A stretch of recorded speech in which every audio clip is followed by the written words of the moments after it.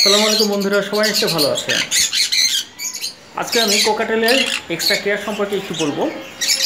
আমার এখানে একটি মাস্টার পেয়ার লুটিনো কোকাটেল আছে। এই কোকাটেলটি তিনটি বাচ্চা করেছে।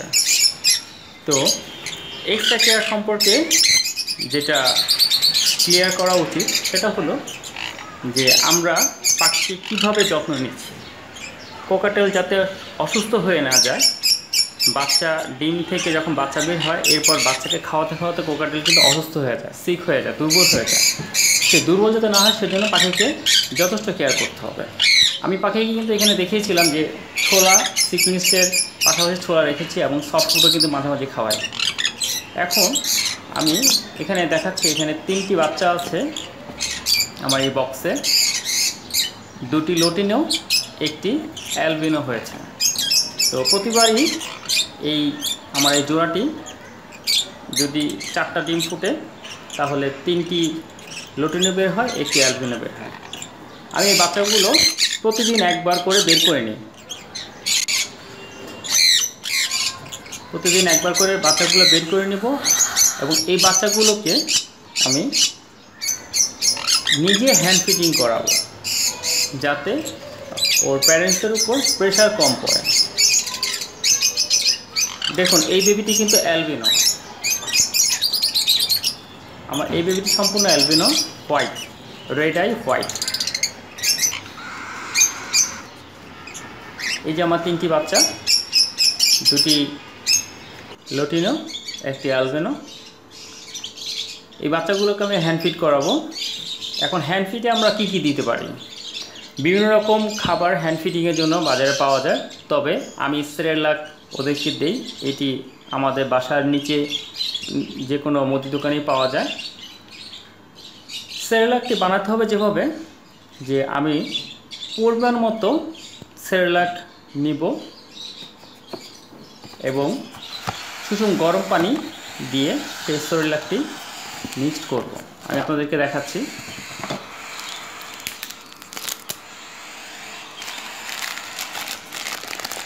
আমি সুষুম গরম পানি নিয়েছি, একটা সিরিঞ্জ নিয়েছি।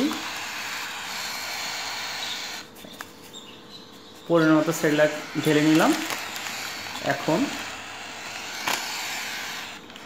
এই সেরেলাকে সুষুম গরম পানি দেব।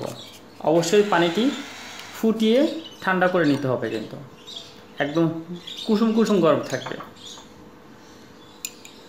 পানির পরিমাণটা আন্দাজ অনুযায়ী দিব। অতিরিক্ত লিকুইড করা যাবে না।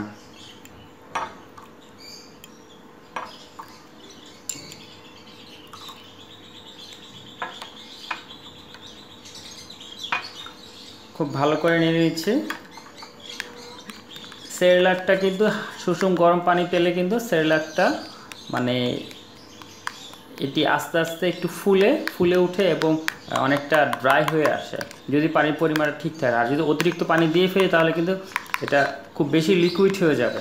আর লিকুইড হয়ে গেলে কিন্তু পানির পরিমাণটা পাখির শরীরে বেশি চলে যাবে। এদিকে খেয়াল রাখতে হবে যাতে বেশি লিকুইড না হয়।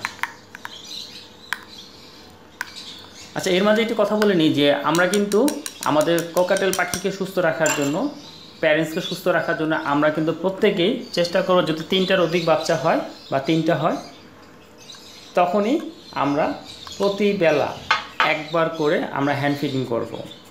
প্রথম অবস্থায় বাচ্চা কিন্তু এই সিরিঞ্জ দেখলে খুব ভয় পাবে প্রথম অবস্থায় যখন দু একবার আমরা হ্যান্ড ফিডিং করব, তখন কিন্তু ওরা অভ্যস্ত হয়ে যাবে যে সিরিঞ্জে তাদেরকে খাওয়ানো হচ্ছে হ্যান্ড ফিডিং করানো হচ্ছে, বাচ্চাগুলো নিজে অভ্যস্ত হয়ে যাবে দেখুন, আমি দেখাচ্ছি কীভাবে খাওয়াচ্ছি আমি।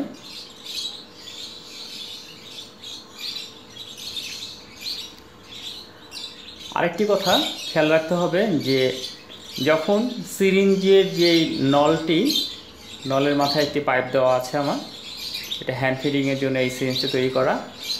এই পাইপটি যখন বেবির মুখের ভিতর দিব আমরা, তখন খেয়াল রাখতে যাতে শ্বাসনালীতে চলে না যায় খাবার। শ্বাসনালীতে যদি কোনো রকমে কোনোভাবে বিন্দু পরিমাণ খাবার যায়, তাহলে কিন্তু সেই বেবিটা বাঁচবে না। মারা যাওয়ার সম্ভাবনা প্রায় সেভেন্টি পার্সেন্ট থাকে।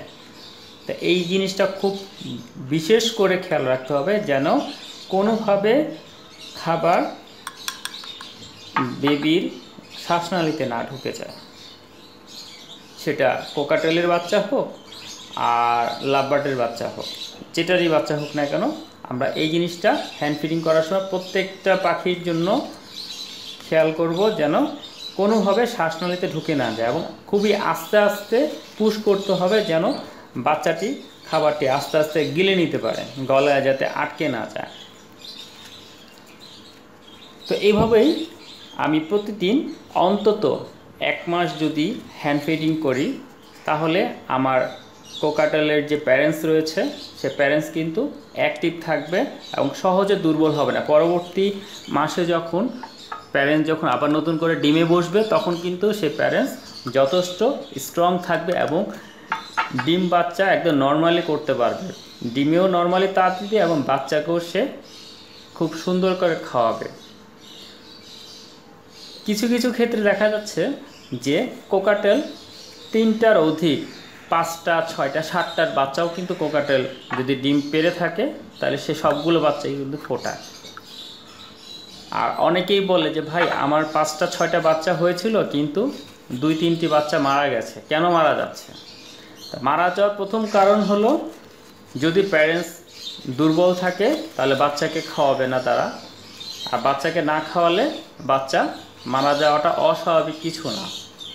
আমাদের খেয়াল করতে হবে যে বাচ্চাকে বাচ্চার ডিম থেকে বাচ্চা বের হওয়ার দুই তিন ঘণ্টার ভিতর বাচ্চাকে প্যারেন্টস কিছু খাইয়েছে কিনা, সেটা আমাদের বিশেষ করে খেয়াল করতে হবে। যদি না খাইয়ে থাকে সেই ক্ষেত্রে বাচ্চাকে বের করে নিয়ে আমাদের হ্যান্ড ফিড করতে হবে। আর হ্যান্ড ফিডে তো আমি দেখালাম আপনাদেরকে, আমি নর্মাল সেরেলাক দিচ্ছি, এটা অ্যাভেলেবেল সব জায়গায় পাবো আমরা। এই হ্যান্ড ফিডের খাবারের জন্য আমাদের বিশেষ একটা দৌড়াদৌড়ি করতে হবে না, ছুটাছুটি করতে হবে না। আমরা বাজারে বা আমাদের নিচে, বাসার নিচে যে মুদি দোকান আছে, মুদি দোকানে আমরা পাবো। তো ভিউয়ার্স আপনারা নিশ্চয়ই বুঝতে পেরেছেন যে হ্যান্ড ফিডিংটা কতটা গুরুত্বপূর্ণ কোকাটেলের বেবির জন্য এবং কোকাটেলের প্যারেন্টসের জন্য, যাতে প্যারেন্টস সুস্থ থাকে। এবং প্যারেন্টসকে সুস্থ রাখার জন্য কিন্তু আমাকে অবশ্যই হ্যান্ড ফিট করতেই হবে বাচ্চাকে। নইলে কিন্তু একদিকে বাচ্চা মারা যেতে পারে, অসুস্থ হয়ে না খেয়ে আর একদিকে প্যারেন্টস দুর্বল হয়ে যাবে। আর প্যারেন্টস দুর্বল হয়ে গেলে তো বুঝতেই পারছেন যে নেক্সট যে ডিম করবে, সেই ডিম হয়তো বাচ্চা ফুটাবে ঠিকই, কিন্তু আপনার আউটপুট বা আপনার সে বাচ্চাটা নাও বাঁচতে পারে, বাচ্চাকে তারা খাওয়াবে না। একটা বাচ্চাকে খাওয়াবে আর একটা অন্য কোনো বাচ্চাকে খাওয়াবে না। তো আমার ভিডিওটি যদি আপনাদের ভালো লেগে থাকে, তাহলে লাইক কমেন্ট এবং বেশি বেশি করে শেয়ার করবেন। আর চোখ রাখবেন আমাদের এই প্রথম প্রহর ইউটিউব চ্যানেলে আমরা চেষ্টা করব আপনাদেরকে কন্টিনিউ আপডেট জানাতে এবং পাখির মার্কেট প্রাইস পাখির বর্তমান অবস্থা, পাখির যত্ন, পাখির ওষুধ ইত্যাদি সম্পর্কে আমরা বিস্তারিত আপনাদেরকে জানানোর চেষ্টা করব। তো আজকে এই পর্যন্তই। সবাই ভালো থাকবেন, সুস্থ থাকবেন আর বিশেষ বিশেষ করে পাখির প্রতি যত্নবান হবেন। আল্লাহ হাফিজ।